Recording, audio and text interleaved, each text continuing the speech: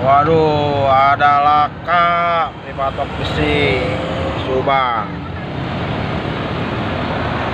Waduh. Waduh.